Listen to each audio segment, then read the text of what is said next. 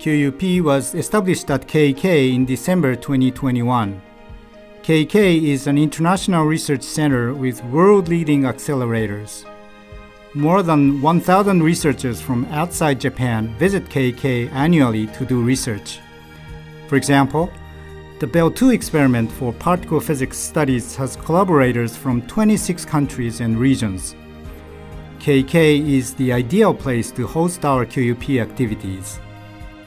Offices for PIs and researchers are on the same floor of building number 4. Hi, I'm Masashi Hazumi. I'm the director of QUP. Um, the QUP's headquarters have been on the fourth floor of KEK's building number four since March 2022. Um, here's my office. I'm using this place for brainstorming and discussion with researchers at QUP.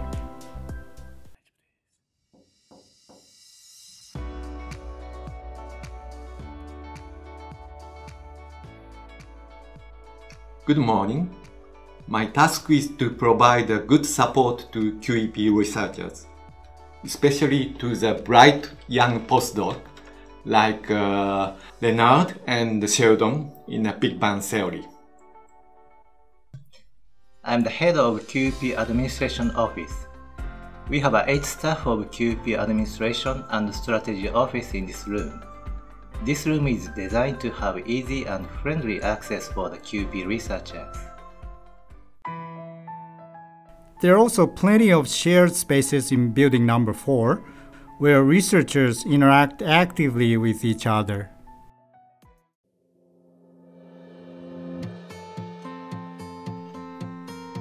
Okay, next, let me introduce our main experimental facilities. We're now in KEK's Advanced Instrumentation Lab. Here, we have been developing measurement systems for cosmic microwave background experiments, including LiteBIRD. We conduct uh, research and development for the low noise measurement system with superconducting detectors for LiteBIRD, dark matter experiment, and application to uh, bioimaging and quantum information science. And for these studies, a refrigerator is an essential tool to cool down the superconducting sensors. So on this floor, we have uh, five cryogenic systems for that purpose, and the QUP plan to double it in this fiscal year to accelerate each research activities. This is our 0.1 Kelvin dilution refrigerator. Uh, this part is actually cooled down to below 0.1 Kelvin. So we will install the TES bolometers and the radar systems actually used in the LiteBIRD missions and we will study for TES bolometer characterization and reducing for the radar noise systems. So next we will show our TES bolometers. These are transition edge sensors operating at the edge of their superconductivity at only a fraction of a degree above absolute zero.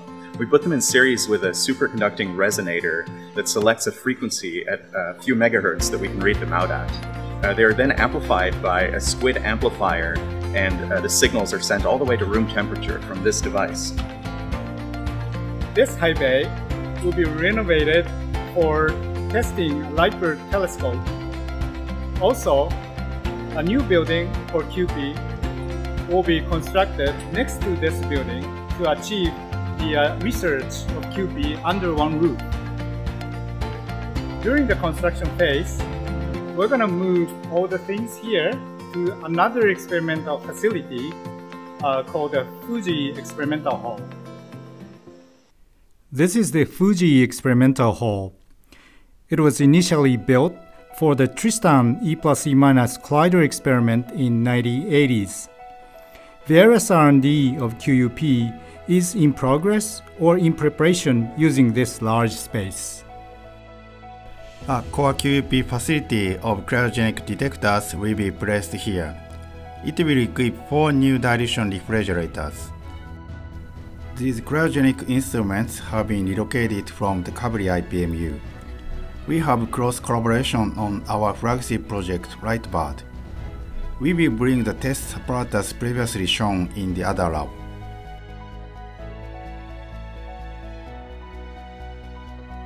This is a green room for assembly and testing of the semiconductor detectors which can work in high radiation environment. For example, to use in recent high-intensity beam experiment.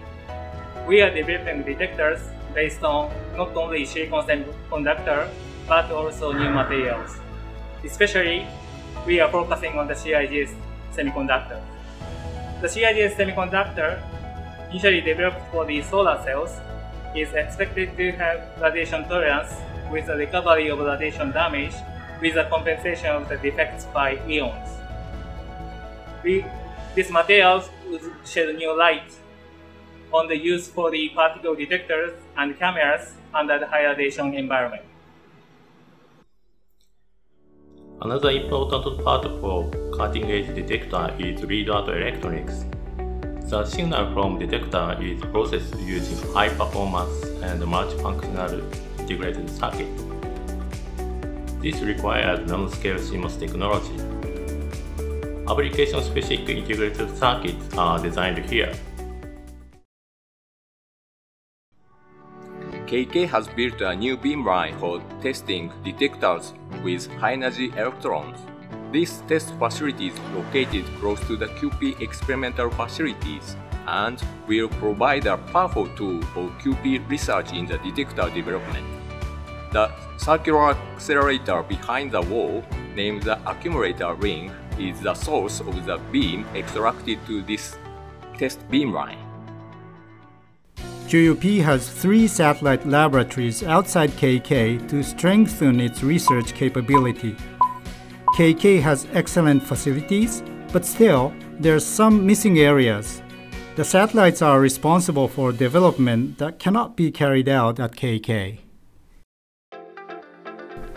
A satellite in ISAS JAXA is used for developing quantum detectors such as transition edge sensor TES.